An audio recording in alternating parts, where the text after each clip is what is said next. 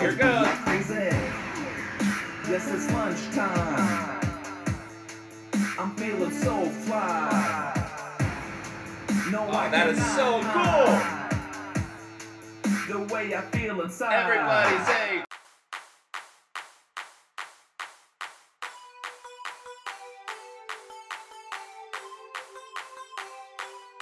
It's science time.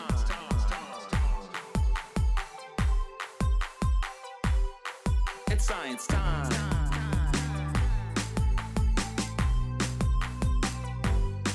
It's science time. Welcome back to another amazing day of learning right here with Mr. C. Very excited about today because we are talking Rubens tube. What does that mean? It means we're going to combine a little bit of flame with a little bit of sound to show you some amazing science. I built this probably six months ago. I created this, and it's a Rubens tube. So Heinrich Rubens, a German scientist, I think was born in 1865, developed this tube in 1905, and he's very famous for it. And what it allows us to do, it allows us to look at standing sound waves. And we know, because we've talked about it before, that inside of this tube, this is a 4 inch aluminum ducting. Um, and what I've done is I've drilled little holes down the center of it equally. And I believe, if I remember correctly, they were three quarters of an inch apart. So everything is spaced evenly. And when you see the flame here in a little bit, you'll be able to tell me whether or not it was spaced evenly. Um, but on this side, I capped it and I sealed it using this duct tape. And then I also, on this side, I have a pink balloon, and it's a membrane.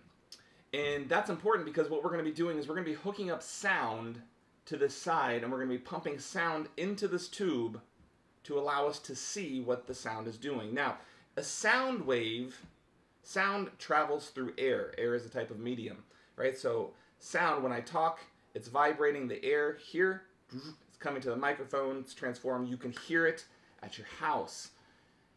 But what happens is with sound, sound also can bounce. So when I tap this,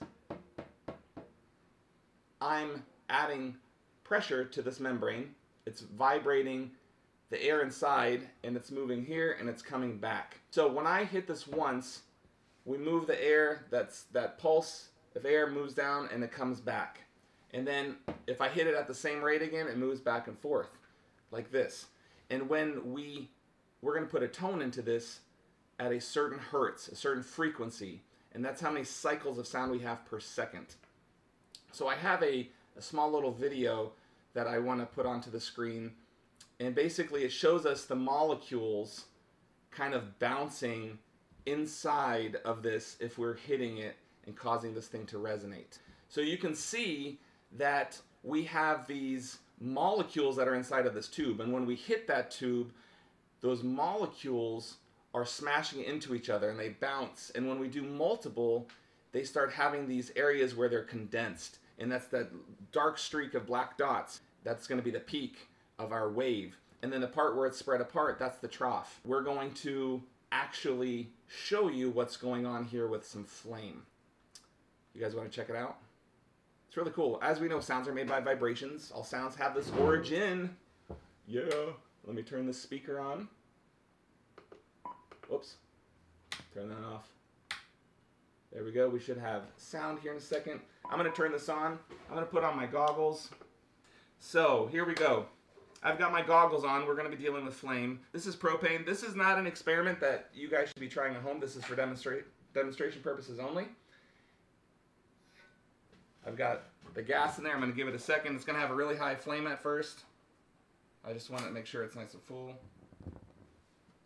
All right. I'm wondering if we should turn off the lights. Wait, hold on. Let me add a little bit of. There we go. So we can see actually, we're trying to get it so it's not bouncing. So I'm going to turn down. It's going to bounce a little bit. We've got some moving air in the house because we're circulating some air. We've got some windows open. But when I take my finger and I tap this, whoops, you can see I cause a pulse. And these other flames will come back on here in a second. So this is me tapping it. Now, if I can do multiple taps and send the frequency through at the same rate, there we go. We start seeing some things. And so I have my phone here. And what I'm going to do is I'm going, I have an app to show you a frequency. And we're going to play with the frequency just a little bit. Uh, let's turn off the lights. I think it'll be a lot cooler. Lights off in three, two, one. Oh, yeah. Is that amazing or what? All right, here we go. We're going to turn on this app. And I'm going to start at 475. Actually, yeah, we'll just. So right now, we can see. Hold on, let me. There we go. What I'm going to do is I'm going to turn on this app. So this is 475 hertz. So it's creating 470 vibrations per second. We're going to turn that on. And I'm going to bring this closer. And what we can do is we can actually see where those gas molecules are being compressed. Right here, right here, right here. So we've got a wave. This is a sine wave, all right? So it's resonating in there, and this is what it's creating. I'm going to drop the frequency, and we're going to see what happens to our wave. I'm going to go down to about 380. And it's going to be a little loud. So I've changed it so the frequency is lower, and now we have less waves, okay? I'm going to go down a little bit more. You can still see the wave, it's not as high. And so we can actually keep adjusting. We can go up.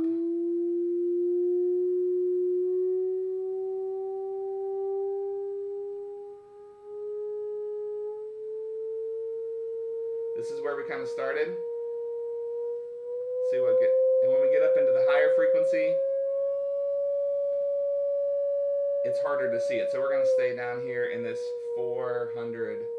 460 hertz range because I think that's a really cool wave, and you can see it's we have its peak, the drop, the trough, and the wave just keeps going all the way around it.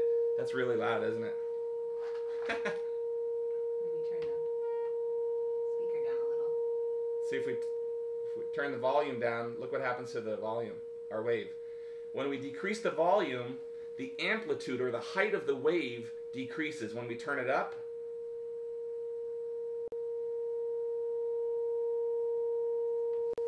it gets more intense. So when we turn the volume up on things, the wave gets higher, and that's what we call the amplitude, the height of that wave. I'm going to turn down just a little bit so we can bear the sound here in the house. And what's neat is when I turn this off, uh oh, my screen, Heather. When I stop it, the wave just goes back to normal. And when I play it, instantly, it goes to the wave.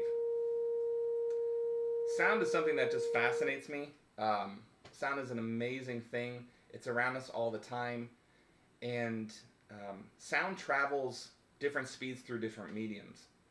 All right, so I think sound travels 330 meters per second in, you know, air. And depending on the temperature of air, it changes. But then inside this tube, because ga- this gas is more dense, it's heavier, it's traveling faster.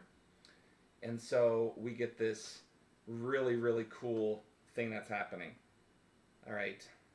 Should we listen to a song? See what it does with the song? I think we should listen to a song. Now, we have to use Mr. C science songs because They're super cool. not only are they super cool, but copyright reasons, we don't want the video to get taken down. So, the show. Hands are clapping. Join the flow. All right, so here we go. It's science time. Let's see what this does. it's science time.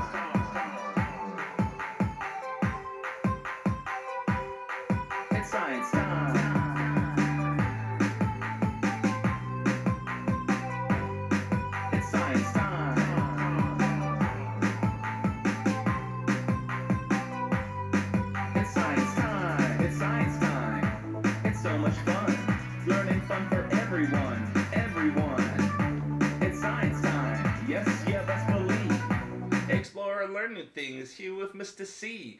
Oh, that's really cool. Every time the bass kicks in, it's like doom, doom, doom, doom. The amplitude, right? That bass is just like doom, doom. And we can see that. And then you can see like when some of the higher pitched things are the flames start to Here we go. Explore and learn new things here with Mr. C. It's science time. So you can see it right here. We got We know it's awesome. There's a dip we right know here. it's great. It's science time. So here we go together. Now enjoy the show. Hands are clapping. Join the flow. It's science, science, science time. Let's all stop and just unwind. All right, so that's it's science time. Very cool song, I might add. Um, not that I'm biased towards it, but I do think it's pretty cool.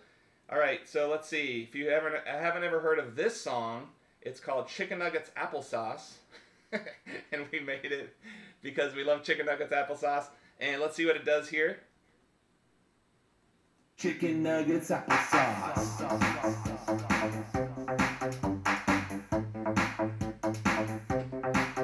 Chicken, ch- chicken nuggets, chicken nuggets, applesauce. Chicken, ch- chicken nuggets, chicken nuggets, applesauce. Let's order, get punches, and soon you'll see us munching. They're yummy, they're scrumptious. Love buying my school lunches. Won't try to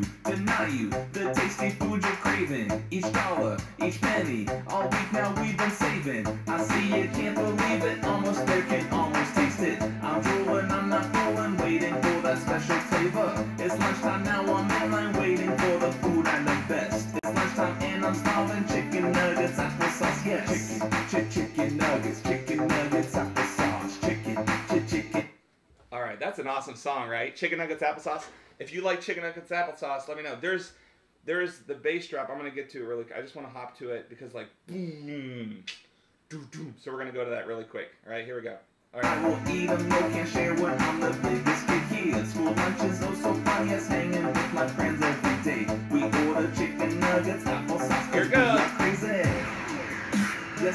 lunchtime. I'm feeling so fly.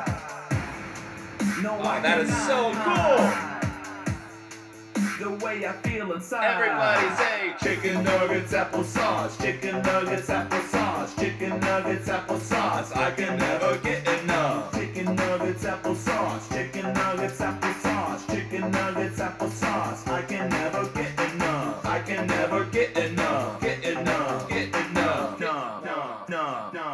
Can never get enough. Let's order. Get All right, that's pretty cool. I could watch this all day. From this angle, it is just fascinating. I hope it looks as cool from that angle as it does from this angle. Let's see. Let's do one more. You're making everybody ready for lunch. Yeah, it is. Like it is lunchtime. lunch. if you eat chicken nuggets and applesauce today for lunch, send us a photo. that would be so awesome. All right, here we go. Um, we've got hot photosynthesis. Line them up. Three M's. Let's do triangles because I know it's got a little bit of bass to it. So this is one of my math songs, Triangles. Um, it's getting warm in here. I'm starting to sweat. Yeah. Whew. All right, here we go. One more song. We'll do part of it.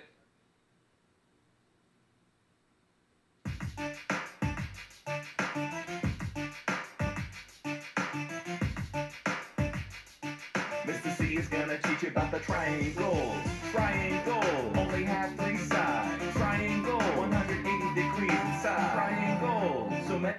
say the bells that ding.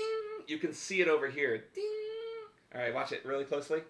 types. Triangle. It's time to bust a rhyme. So first, let's talk about the different sides. Equilateral like isosceles and scalene types. When you look at them closely, almost like a different shape. It's all about the three sides. Make no mistake. Equilateral. All sides are equal. So perfectly created, it should be illegal. When you check it out, you're like, They all look the same, la di di da di da equal, that's the name of the game. An isosceles. Like tall. All right, how cool is that? Seriously. This is an amazing tool to demonstrate and allows us to see sound. See sound. And it's not something we could typically do because air is transparent, so when sound vibrations are moving through the air, we don't see them. Sometimes we feel them, uh, like at 4th of July when there's huge fireworks and the big boom. We see the light of the fireworks, and all of a sudden we feel the rumble of an explosion. So that's really cool. Um, yeah, so I want to definitely share this with all of you today. This is one of those things that you're not doing at home, but if you like it, you can come back and watch it. In fact, we're actually going to record the entire songs with these here in a little bit, and we're gonna post them to YouTube so you can watch the whole um, piece. I think that would be really cool to watch the whole song. If you like that activity and want to see more experiments, make sure you like and subscribe. See you soon.